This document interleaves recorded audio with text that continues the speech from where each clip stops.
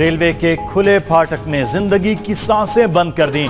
پتوکی میں خوفناک حادثہ، فیکٹری کی بس، مال گاڑی کی زد میں آ گئی۔ چار افراد جاں بحق پچیس زخمی ہو گئے۔ ریلوے کے وزیر کا وہی روایتی اقدام۔ گیٹ مین اور انچارج کو معطل کر دیا۔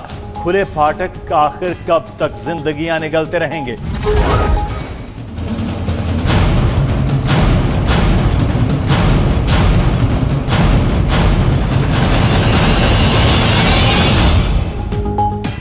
کراچی کے علاقے عزیز آباد میں اور کتنے اسلحے کے ذخائر ہیں؟ قانون نافذ کرنے والے ادارے متحرک ہو گئے۔ عزیز آباد میں تمام بند مکانات کی تلاشی کا فیصلہ۔ سرچ آپریشن میں علاقہ مکینوں کی مدد بھی لی جائے گی۔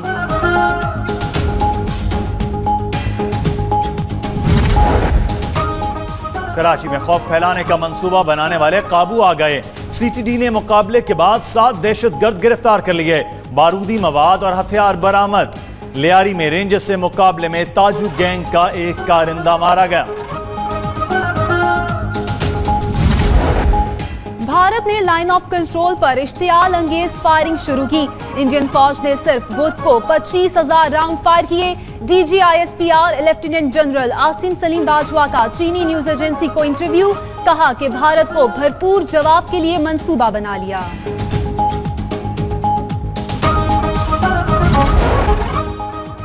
مقبوضہ کشمیر میں تین ماہ بعد بھی کشیدگی کم نہ ہوئی۔ آزادی کے متوالوں کے باہر نکلنے کے خوف سے قابض فوج نے نفری بڑھا دی۔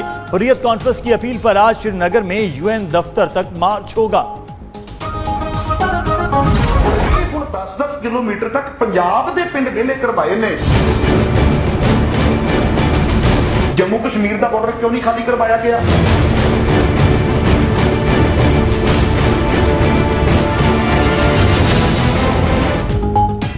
بھارت کے سکھ رہنما ہرپریت سنگھ مودی سرکار کی الٹی سیدھی پالیسیز پر پھٹ پڑے۔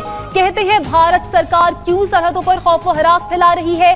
صرف پنجاب کے بارڈر پر ہی کیوں شہریوں کو نقل مکانی کا کہا جا رہا ہے؟ بھارتیوں کی تنگ نظری اور پاکستان دشمنی میں اندھا ہونے کی ایک اور مثال، فواد خان کے مناظر فلم دھونی سے ہٹا دیے گئے۔ پاکستانی فنکار نے فلم میں ویرات کوہلی کا کردار ادا کیا تھا۔ کیا بھارتی فلم ساز اے دل ہے مشکل سے بھی فواد کے مناظر نکالیں گے؟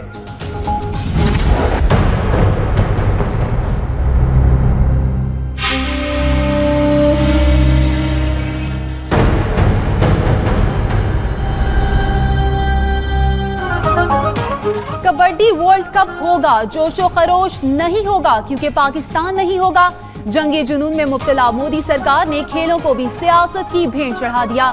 پاکستانی شیروں سے خوف زدہ بھارت سرحدی کشیدگی کو جواز بنا کر پاکستان کی میزبانی سے بھاگ گیا۔ سمندری طوفان میتھیو نے ہیٹی کیوبا اور بہاماس میں تباہی مچا دی۔ ہیٹی میں طوفان سے ہلاکتوں کی تعداد تین سو چالیس ہو گئی۔ امریکہ کی چار ریاستوں میں ایمرجنسی نافذ۔ پچیس لاکھ افراد کو محفوظ مقام پر منتقل ہونے کی ہدایت۔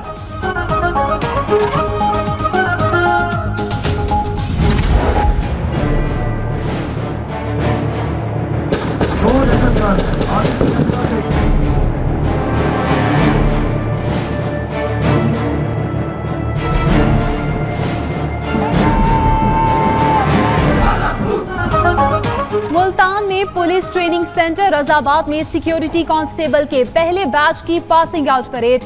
جذبے سے بھرپور اہلکاروں کے نعرے، تربیت یافتہ اہلکار سی پیک منصوبے کی سیکیورٹی انجام دیں گے۔